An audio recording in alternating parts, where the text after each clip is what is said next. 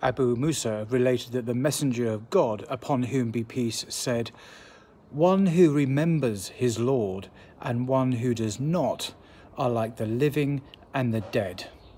Hadith from Bukhari and Muslim.